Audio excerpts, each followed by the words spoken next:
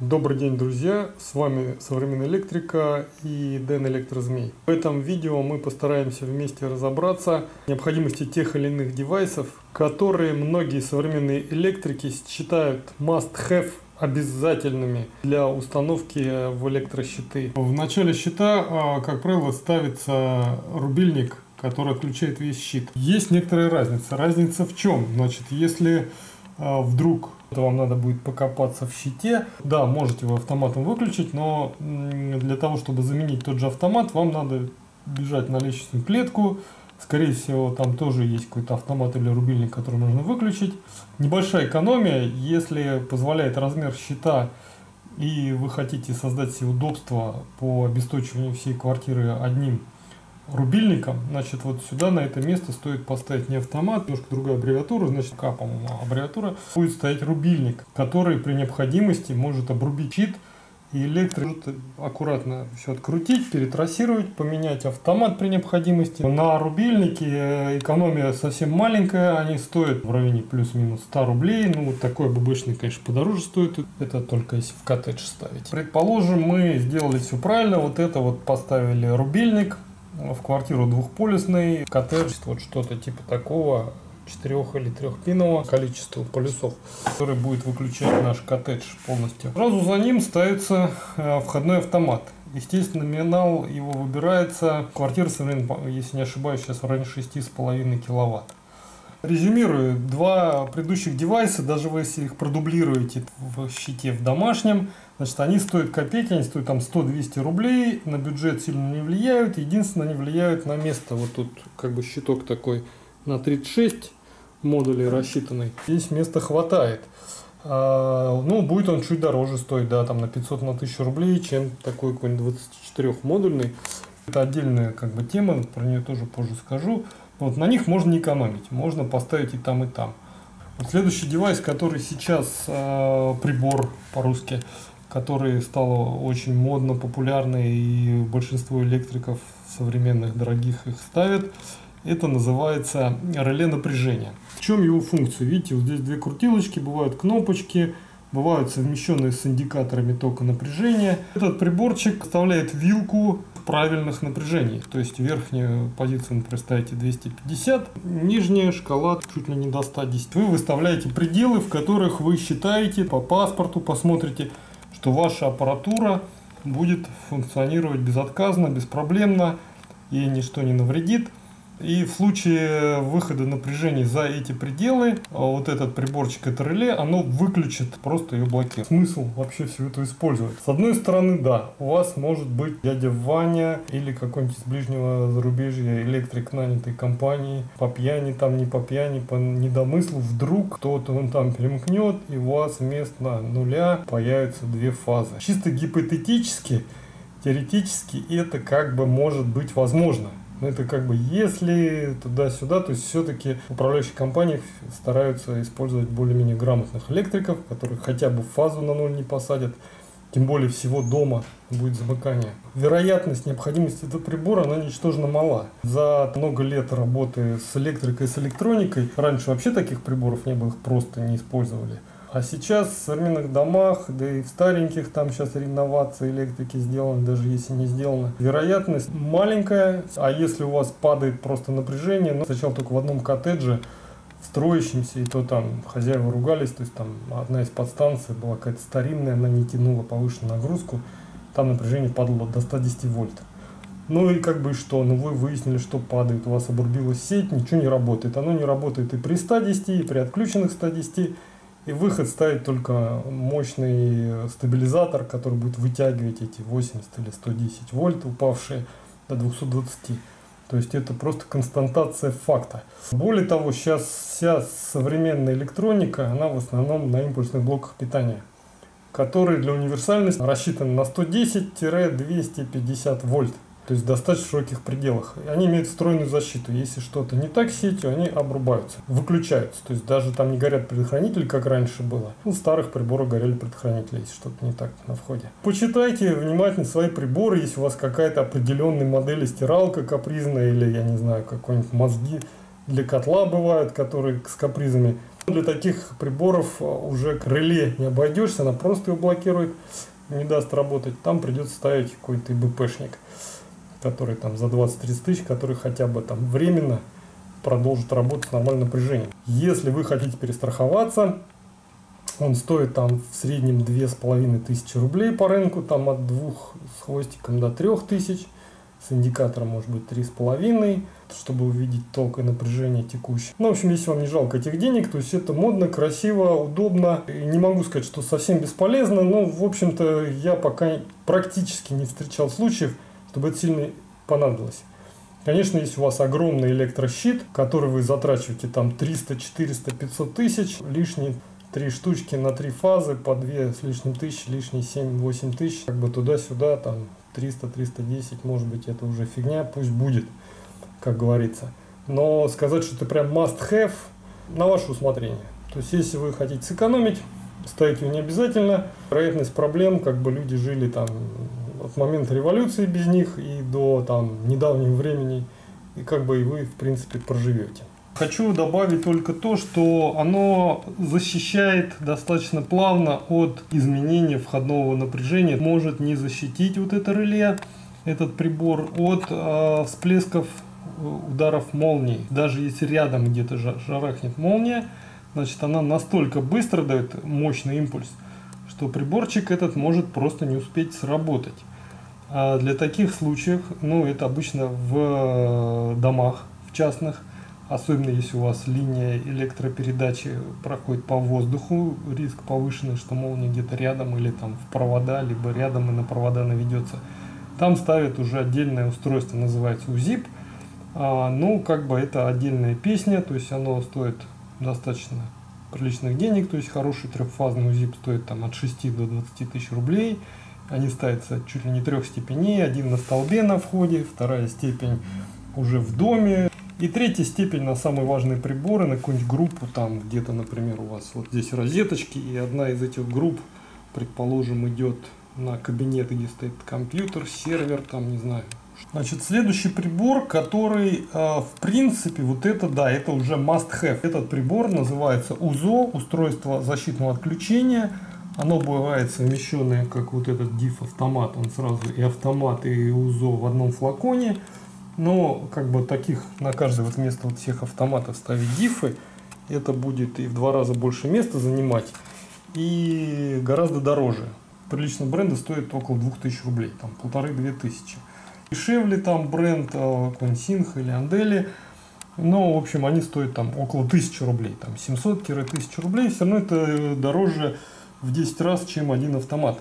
Поэтому, если хотите сэкономить, достаточно по расчетной мощности, вот стоит, например, 63, то есть у него максимальный ток, который он выдерживает, 63 ампера.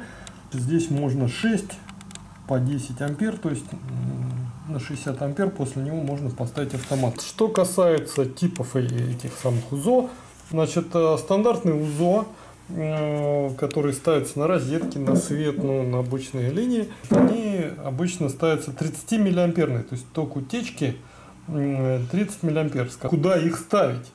Вот, в принципе, вот здесь, вот в этом щите, он еще не дособран, но частично собран. Здесь видно, вот это вот группа света, 10-амперные автоматы стоят. И многие на свет не ставят. Если вам жалко там тысячу за недорогое или две за какой-нибудь АББшное УЗО, вы можете его не ставить, потому что свет, э, в принципе, вы туда на лампочке, ну, то есть будете лазить редко. Если будет лазить, можете обесточить весь щит или просто эти все группы света, и как бы там напряжения не будет. Тем не менее, ну как бы на всякий случай, если у вас где-то низко висящие плафоны с металлической каймой, с какими-то там металлическими элементами, кто-то может их коснуться, особенно дети, да и сами вы, можно повесить одно УЗО на весь свет. Не, не таких больших денег оно стоит. Вот это здесь у меня стоит diff автомат, он стоит просто на отдельную группу. Это, скорее всего, группа стиралки вот, или холодильника, потому что это будет неотключаемая группа. Но, в общем, она отдельная. И здесь выгоднее, чем ставить как бы три места займет УЗО и автомат, здесь два места занимает э, автомат. Вот в этом случае, если у вас есть отдельная нагрузка, которая отдельно коммутирует, на нее можно поставить diff. Что касается розеток, да, если у вас больше там 4-5 групп, вообще лучше на 4 группы. Это какая-то предварительная сборка автомата тоже. Ну, вообще здесь вот можно было на 4. Это 4 по 16 это как раз там где-то 64. Ну, чуть, чуть мощнее тут автоматы как бы стоят. Просто они, скорее всего, на полную нагрузку не будут работать. То есть 63-амперное УЗО, оно, в принципе, достаточно, но лучше всего для 4 16-амперных автоматов. Поэтому, если у вас больше групп розеток, то есть на каждые 4 16-амперных, ну, одно УЗО на 4 группы ставится. То есть, если у вас будет там 6, 7, 8 групп, значит, вам придется два УЗО раздельных поставить там на одну группу розеток и на вторую группу розеток. Ну, то есть УЗО, вы поняли, это must have. То есть современные электрики, оно защищает, то есть если кто-то прикоснется, к токоведущим частям или пробьет на корпус. То есть от мелких утечек тока на человека, утечек там на корпус и так далее. То есть это современная защита, без которой уже не собираются электрощиты. То есть это ваша личная безопасность, даже не аппаратура, не провода, а именно личная ваша. Следующий момент, на котором тоже можно экономить, можно не экономить, это, собственно, сам ящик фоловский – недорогой ящик чуть ли не за полторы тысячи рублей. При этом он на 36 модулей. Он мне понравился тем, что здесь все вот это вот все снимается, то есть можно вот эту раму снять.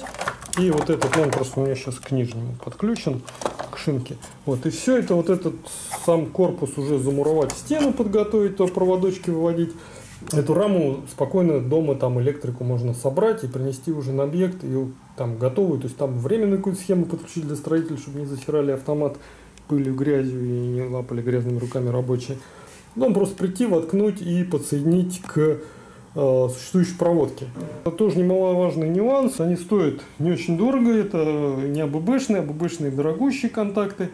Это турецкие, разные китайские и отечественные. Вот такие вот контактные группы. Очень удобно в том плане, что собрали щит, подключили через контактные группы. И если вы уже знаете, что вот как здесь у меня, то есть здесь розеточки внизу находятся, а свет вверху, иногда он вообще в самый верх у меня ставится, там поближе. Советская русская схема сверху вниз идет, сверху вводная часть и пошло, пошло, поехало. Но здесь будет э, либо группа будет, либо они уже без группы будут э, выхода подключаться сюда. Очень удобно, э, потому что, опять же, бывают ситуации, где-то что-то перекоммутировать. Вот буквально недавно заказчик там, я пришел, там у него одни розетки были на бесперебойной линии, скажем так. Потом он говорит, о, там не хватает розеток, да, вот эту группу включим. Когда у тебя жесткие провода вот все заведены, они там загнуты уже красиво куда-то там подоткнуты. Есть ты начинаешь вытаскивать, опа, а он до этого автомат не дотягивается. Что стоит? Там какие-то сопли, ваги, что-то там делать, что-то подгинать, это уже все некрасиво, мятое. Вот здесь все будет э, приходить вот сюда. И в принципе, если мне местами захочется поменять одну с другой группу розеток, я аккуратненько откручу здесь отверточкой, поменяю вот этот мягкий проводочек, обжатый ншевые, все у меня хорошо, красиво. И, в общем, это все легко, аккуратно делается и красиво, и удобно. Ну, вот, когда очень много этих проводов, на них еще специальные хомутики с циферками, там, с группами, ты видишь, куда что идет, там можно это прописать, какая группа чем управляет. Сверху делается пленочка там с подписями, где какой автомат. Ну, это уже фетиш, скажем так, это копейки стоит. Вот. Ну, в общем, вот это тоже стоит небольших денег. Ну, обычно это стоит немножко больше денег по сборке. Обычно автомат там 2-3 тысячи, автомат с НШВ, сборка там, ну, обычно такого формата около 5 тысяч стоит. Автомат собрать, э, то есть щиток собрать, естественно, тут лишние там, не знаю, 300-500 рублей пойдет на все эти проводочки разъемчики, которые помогут вот эту всю систему красиво скоммутировать и самое главное удобно. Поэтому тоже хотите красивый, современный, удобно. Ну, не пожадуйтесь на лишние там 500 рублей на запчасти и пару тысяч на мастера, который все это соберет. Зато будет все, ну, не знаю, я сторонник, когда все красиво и удобно, то есть меньше вероятности, что что-то там напутается, отскочит, сгорит, замкнет – но и придет любой другой электрик что-то разбираться, он увидит, и все будет видно, понятно, легко куда что идет, то есть легко перекоммутировать, то есть без, скажем так, фигни, без соплей. Но и сам э, щиток, то есть вот фоловские дешевые, ну, есть очень красивые э, IP65 влагозащищенные леграндовские. Но они тоже стоят там уже 2, 3, там 4 тысячи рублей. Тоже вопрос экономии. То есть и этот будет работать, и тот будет работать. Ну, то есть хочется вам современный красивый щит, э, еще более удобный, там рама еще сильнее выгнута. Ну, вот здесь мне, в принципе, нравится, потому что даже в дорогих некоторых щитах бывает, что между вот этими дин-рейками и задней стенкой очень маленькое расстояние, и очень удобно коммутировать провода. Вот, то есть, если вам что-то куда-то надо подключить, переключить, особенно когда щит уже частично собранный, вы что-то решили переделать, то есть там подлезать очень трудно, то есть просовывать, это все мнется, как-то все некрасиво. Ну, я сторонник таких щитов. И всегда э, разумнее брать щит запасом, можно взять даже там на 4 динрейки, да, или там более широкий, значит, для того, чтобы были вот эти вот контактные группы для подключения входных-выходных кабелей. Чем больше квартира, чем больше кабелей, там здесь вот не рассчитаны теплые полы кондиционеры, значит будут теплые полы кондиционеры, значит уже можно на 54 или больше брать автоматов щит, а то еще больше, чтобы это все легко скоммутировалось и гребеночки стали сверху, снизу, чтобы эти провода все. Еще очень важный момент. А, попросите электриков, если они вам будут и щит тоже собирать, чтобы заранее было, ну как бы пусть на тетрадочке, пусть каля-маля там нарисован примерный проект счета, если даже они не хотят сразу собирать, да, и как пойдет электропроводка. То есть бывает зачастую, что те же электрики, которые щит делают и проводку делают, значит сначала там раскидывают провода, потом опа, собирать щит, ой, неудобно, этот провод не с той стороны зашел, он где-то криво отсюда заходит, то его надо вверх бросить, начинается удлинение, начинаются какие-то танцы с бублами, там фальш-панели, не всегда это удобно. Лучше сразу э, распроектировать, если у вас стандартная укладка электрики, там розетки по полу, свет по потолку. Естественно, световая группа, кондейная группа располагается сверху, розеточные группы и теплые полы группы снизу. И у вас группа разъемов под кабели пойдет с этой стороны, группа разъемов с этой стороны. Естественно, вы как бы свет уже приводите укладываете примерно там с бирками, все это делается примерно в том же порядке, как он пойдет у вас к автоматам по тем группам там. Первая спальня детская, вторая спальня детская, третья спальня взрослая, там, я не знаю, что кладовка, коридор, зал и пошло, пошло, пошло, свет, кухня, санузел 1, санузел 2. Вот, чтобы эти проводочки пришли ровненько, тогда они и на входе будут здесь красиво, аккуратно заходить и коммутироваться легко, и это, ну, как бы сэкономит время и в конечном итоге и деньги, там лишние метры кабеля. Если вам нужна будет консультация или э, просто там какие-то возникнут вопросы, смело пишите, звоните, за советы денег не берем. С вами был Дэн Электрозмей, сайт, наш сайт современный электрика электроден.ру. Заходите, смотрите, спрашивайте, обращайтесь.